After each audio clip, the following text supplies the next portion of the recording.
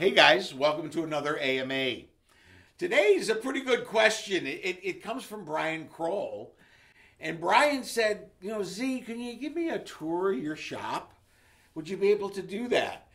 Well, we thought about it and we said, Yeah, you know, we probably can do that. We'll try our best uh, to take a video shot and walk around and, and show uh, the, the facility here. Right now, we're in the testing room. This is kind of where we test the amps, where all the tests, where all the amps come in once they're completed, and then they get play tested, and then they go to the dock to be packed and shipped. And we also do our filming here. Um, so we do it toward the end of the day when everything is quiet and UPS has already come, and we don't have to worry about somebody coming through the door. So this is where we we do our videos as well as test our equipment. Okay, you know, again, here we are in the test room. And basically, once the amps are put together um, and all assembled, they come in here, they're play tested. And as you can see, there's tags on each one of the amps that say where they go, how they're configured, what speakers are in them. And once they're tested, then, then Buddy would take them into the other room to be packed and put away. Also over here are you know some speakers that we use when we're testing. Here is our grill cloth, the different types of grill cloth that we use on the cabs. And here are some interesting little amp chassis that um, are kind of prototypes or bills of things that we're trying to do, um, or or even amps that are being refurbed that will then be resold. Over here are a couple more of those amps, as well as there's tube types. And, you know, as we're going through and testing the amps, we may have to pull a bad tube and replace it with another one. Here is a little workbench that we use um, for testing and building and, and doing our mods and all that kind of stuff. So, pretty much, besides this room is done for testing and repairs, we also do our videos in here, like we said in the beginning. So now this is this is our dock, and this shows our blow-in foam machine. It's a really a great way to pack, as you guys know. If you got your amps from us, you know this blow-in foam just does an excellent job of protecting the products. Here's some amps that are packed. Um, these these are all going export, so they'll go and they'll get packed on a skid and get picked up and take away. Uh, here is all our boxes that we use and and some other uh, sundry in, you know stuff that we use for packing, as well as our UPS computer. So, you know, once everything is here and it's packed, Frank will then do his run out, get his labels, and the overhead door will the big brown truck will come and take them away. so that that's that. That's the dock. And now this is the room that we do our cabinet assembly and, and some other build stuff. There's Pete, you know, working on a cabinet. Uh, Pete's probably one of my oldest employees. I don't know, 25 years or better. that Pete and I've been working together. Um, does an excellent job, as always, on, on all our cabinets. So that's them there. Here are speakers uh, that we use as we're doing our assembly. Here are some cabinets, of course. Um, right here are chassis that are QA'd and complete and ready to go. And you know, each one's marked by who built it, who QA'd it, what store it's going to, its purchase order number, and all that pertinent information. Pete takes that then and then finishes the cabinet. We do have quite a bit of cabinets. Uh, you know, that are all throughout our, our shop. Each one of them are placed individually as, as the different 112 extensions and, and 112 combo cabs, all with the different colors, Z-Best cabs in the back there. Here's some of our scratch and dent stock that we sell from time to time when people are looking for that.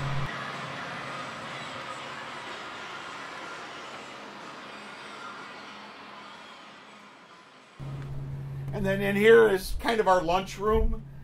And, you know, it, kind of a small facility that we have, so we certainly have to use every room has a dual purpose. And in here are, are more speakers. Mostly the Alnico stuff that we have is, is stored here. Um, and then here's the little kitchen. And then here's more cabinet storage, our 212s and 410 extension cabs, um, as well as some other early chassis builds um, that will probably be built and sold eventually. Um, and then some more cabinet storage. And we just, you know, try to separate everything and keep it so that we know which are the EZG's and which are the Z-Wrecks and which are the 212s and all of that. So that's pretty much it for our cabinets and speakers and our lunchroom. Uh, now moving into our kind of long lead product storage, if you will. Okay, and in here is where we have storage for all of our chassis, and you'll see all the chassis stacked up, as well as still on skids, um, as well as transformers. So this is where the transformers are kept, and they're all stored all throughout here on these shelves, as well as the chassis. Um, there are some older cabinets that are stored back here, uh, as well as our forklift. Uh, we don't have a dock, unfortunately, so when we have semis come, which come a couple of times a week, uh, to either pick up or drop off, you know, we have a, a forklift to, to get the stuff out of the truck. Um, so there's parts, uh, there's tools, and support stuff here. And old panels, actually. I'm going to show you some more panels in a second. But those are discontinued ones. And here are all the current production panels as we get them from, from our manufacturer. And we store them there as well as in, in these little pigeonhole slots here to show each one. Um, here are all the small components and, and, and screws and nuts and all of that kind of stuff that's used to build the amps. You never have enough hardware. Extra wire. Some older tubes and knobs uh, are stored in this part. Here's where we build the boards. So here's the drill press and also the press for putting in the pins um, there's some boards, raw boards, and when they're completed, they, they go on the shelf here. This would be a completed board. On these shelves here are amps that are built and not QA'd yet. So they'll be taken and go into the room to be tubed and QA'd. And again, here's the stores that ordered these products and as we build them. Um, you also see that there's a new Maserati head. So these are going to be the new 30th anniversary Maserati chassis as we build those. Again, more boards, raw boards on the floor. And we come into our main room. Um, right here are all the tubes that we kind of go through. And probably these shelves are filled and refilled every month. So, you know, we're able to buy lots of tubes. We go through lots of tubes. They sit here. Small components uh, for our builders, the things that they need. Some of the little caps and, and pots, jacks, all the little things that they need to finish their assembly. Uh, here's Jay building an amp here, um, working on a product. Uh, this is where we build our, our boards. Here's another builder's spot. Um, here's Mark building our amps. a 20 year employee of Dr. Z. Makes great, makes some great amps, man. Um, here too is some more prototypes, some more chassis um, of stuff that you know who knows where they'll end up. Um, possibly they might go into production. Who knows? Possibly we'll put them together and sell them. Okay. Uh, here is where the repaired amps are kind of stored. These are all customers' amps that are either being refurbed, updated, repaired, modified. Um, those all go here. These are all my 6N14Ns. I'm very proud of this shelf. There's about 3,000 of them here.